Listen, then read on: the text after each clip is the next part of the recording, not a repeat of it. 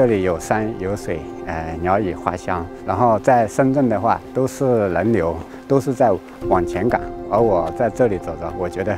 呃，非常的舒服，呃，非常的亲近大自然。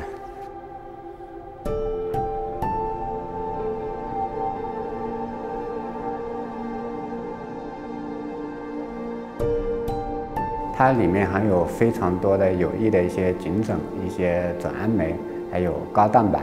所以它号称东方奶酪。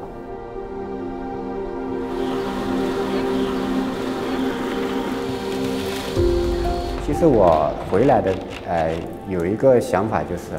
我要，嗯，带动我们农村人，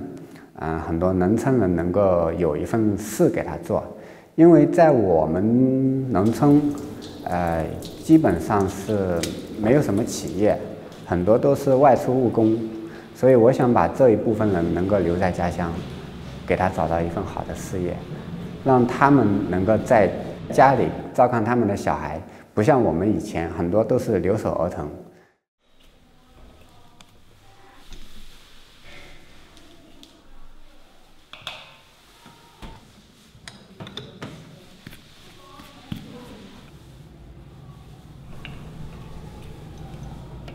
我现在如果我量要上去的话，后面的资金真的压力特别的大。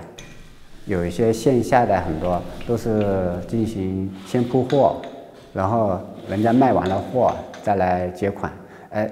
有些东西人家卖完货结款给我还好像有些有个别的话卖完货还不给我结款。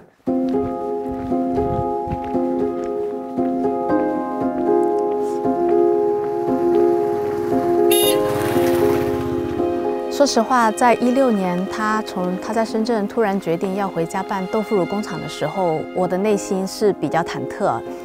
不是非常支持，因为啊，我觉得我们从小好不容易从一个小山村走出去了，我真的就希望我的后我我以后我的孩我自己我的孩子，然后哪怕我的后辈都能够在大城市生活。可能是因为从小在山里面长大，我对于在相对于农村八九十年代、九十年代的农村来说，那个生活对我来说，并不是特别特别的愉快。其实回家乡应该在一五一五年的时候，一四年底、一五年就有这个想法，但是一直不敢不敢去实施，当时也。也非常害怕，因为，嗯，真正走出这一步，万一失败了怎么办？经过时间的，呃，慢慢的积累，哎，我就在想，哎，三十多了，如果我再不去闯，我再不去做自己的一个事情，可能我就会在研发办公室，我就会可能四十五十，我都会待在里面。后面他，我看到他自己真的是非常非常的坚持，在我。在我跟很多人都觉得不能理解的情况下，一直在坚持着，朝自己的理想和自己的梦想在拼搏，在奋斗。呃，我觉得我自己